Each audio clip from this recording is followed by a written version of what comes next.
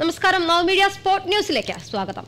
മുഖ്യമന്ത്രി പിണറായി വിജയന്റെ ഒപ്പുമായി ബന്ധപ്പെട്ടിട്ടുണ്ടായ വിവാദത്തിൽ ഉദ്യോഗസ്ഥ ഭരണ പരിഷ്കരണ വകുപ്പ് ഡെപ്യൂട്ടി സെക്രട്ടറി ചിത്രയെ സ്ഥലം മാറ്റി വിഷയത്തിൽ മറുപടി പറയാൻ ഉദ്യോഗസ്ഥ മുൻകൈ എടുത്തെന്ന് ആരോപണം ഉയർന്നിരുന്നു. വിവരാവകാശ നിയമപ്രകാരമാണ് ഫയൽ പുറത്തായത്. ചിത്രയെ മാറ്റിയിരിക്കുന്നത് സാമൂഹ്യനീതി വകുപ്പിലേക്കാണ്.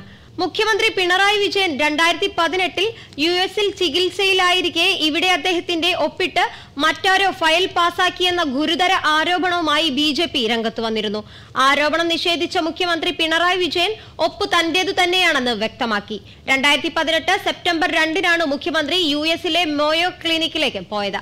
എന്നാൽ ഒൻപതിന് മലയാള ഭാഷ വാരാഘോഷവുമായി ബന്ധപ്പെട്ട ഫയലിൽ പേന ഉപയോഗിച്ച് മുഖ്യമന്ത്രി ഒപ്പിട്ടെന്ന വിവരാവകാശ പ്രകാരം ലഭിച്ച രേഖ തെളിയിക്കുന്നതായി ബി ജെ പി സംസ്ഥാന വക്താവ് സന്ദീപ് വാര്യർ ആരോപിച്ചു. ഇരുപത്തിമൂന്നിനാണ് മുഖ്യമന്ത്രി തിരികെ എത്തിയത്. അമേരിക്കയിലായിരിക്കെ അയച്ചു കിട്ടിയ ഈ ഫയലിൽ ഐപാഡ് വഴി ഡിജിറ്റലായി ഒപ്പ് രേഖപ്പെടുത്തി അയച്ചതാണെന്നും നേരിട്ട് കൈകൊണ്ടിടുന്ന ഫിസിക്കൽ ഒപ്പ് അല്ലെന്നും മുഖ്യമന്ത്രി ഈ വിവാദത്തിൽ മറുപടി നൽകിയിരുന്നു.